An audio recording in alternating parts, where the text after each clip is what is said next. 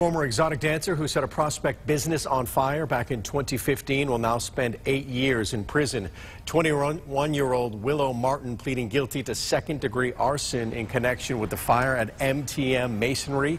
The fire spread to a next-door Chinese restaurant. Prosecutors say she did it because that business belonged to the stepfather of her best friend who owed her $1,200.